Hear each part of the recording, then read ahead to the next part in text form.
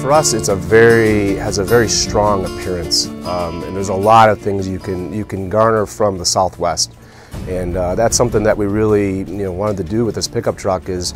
What does it feel like when you wake up on the, the morning of, of, a ranch or something like that? The colors, the tones. Uh, we bring in a lot of finishes. So one of the things you'll probably noticed first off is our striking black and cattle tan type of appearance to it. We also have a brown version as well.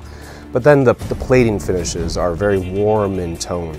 And hopefully, you know, the, the customer is also going to notice uh, eventually some of the extra details that we've added to that metal finish. Uh, you might find them on a, a, pocket watch, you know, an antique pocket watch, or even uh, a firearm stock is, is this tooled type of aspect to it. So we've actually done a lot of this little filigree work throughout the interior. The wood is an awesome finish on the interior. It's this natural, very natural feeling barn wood. And on the upper glove box, we've done even one, one step further is we've actually taken a branding iron and actually branded the logo of the Laramie Longhorn uh, to the actual glove box, which is really cool. So again, sort of just playing up this authenticity of details. I think that's a hallmark of our Ram 1500 and nowhere else do you see it uh, in the Laramie Longhorn.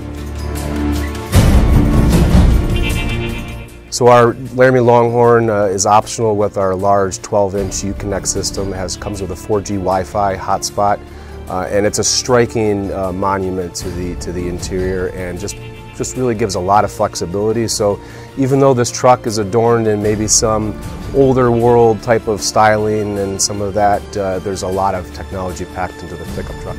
You should feel real special with the new 2019 Ram 1500 Laramie Longhorn.